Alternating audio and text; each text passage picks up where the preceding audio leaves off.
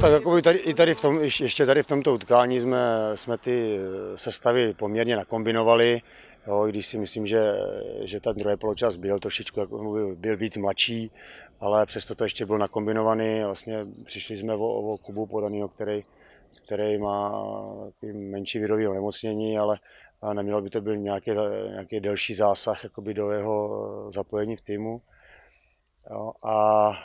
ten první poločas si myslím, že, že byla kvalita jednoznačně na naší straně. Měli jsme tam spoustu takových dobrých věcí, které nacvičujeme, které ale potřebují ještě doladit a to bychom teda se tomu chtěli věnovat teďka na soustředění,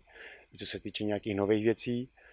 A v tom, tom druhém poločase tam prostě díky tomu mládí samozřejmě se ta hra více vyrovnala a bylo to spíš takový breakový, ve který jsme měli si myslím, že do, dobrý příležitost, že ti mladí kluci se v tom zorientovali poměrně slušně a nakonec dali ještě ten gol, tak aby ten poločas svůj neprohráli a, a skončilo to jedna jedna pro ně. Takže myslím, že tam ukázali spoustu taky dobrých věcí, takže myslím si, že s tím zápasem ještě uh, v tom ukončujícím bloku před soustředěním, že jsme byli tady v tomto spokojeni.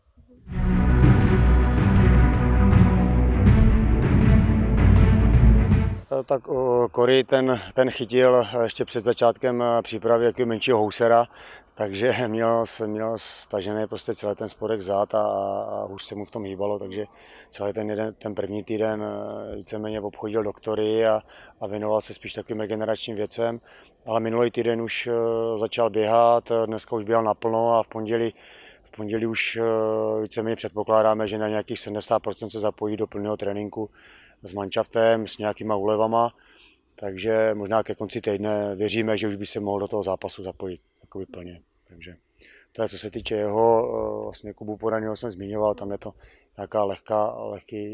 infekční onemocnění, ale mělo by to být do, do týdne pryč, mm-hmm. ale nemělo by to nějak zasáhnout jakoby do jeho kondiční připravenosti. A Kovy, ten si vlastně lehce eh, v tom zápase s Prešovem si lehce podvrtnu koleno, ale spíš takového nárazu, než nějakého špatného došlapu. Takže taky je to otázka dvou, tři, čtyř dnů,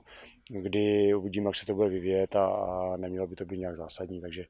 věříme, že v půlce, v půlce soustředění už bude taky plně k dispozici. Ne třeba do zápasu, ale do tréninku určitě.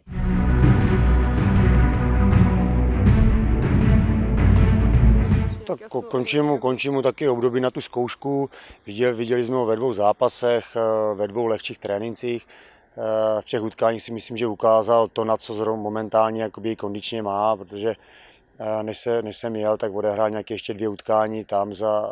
za, tu, za ten výběr hráčů bez smluv. Jo, přiletěl se, myslím si, že se to na něj mohlo trošku podepsat, ale je vidět, že asi asi ten tréninkový proces a to jeho herní vytížení nebylo asi až úplně na takové eh, velké úrovni, aby, aby se mohl tady silně třeba hned teďka poprat o, o ten uší kádr, ale eh, ukázal dobré věci, my jsme se s, s vedením klubu a, a v realizáku domluvili na tom, že, že prostě v něm ten potenciál vidíme, takže, takže věřím, že teďka se domluvíme s eh, jeho agentem na tom, že by tady Uroš za nějakých podmínek byl a my jsme na něm mohli pracovat, protože ten potenciál v něm prostě vidět byl. Takže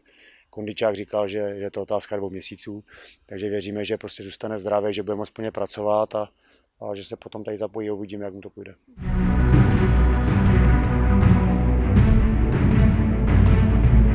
Tak eh, je vidět, že eh,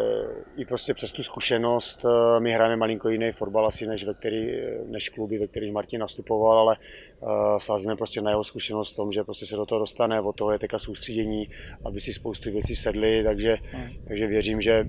věřím, že Martin prostě to nabere strašně rychle a, a věřím, že prostě v tom bude, bude silné a že nám v tom pomůže.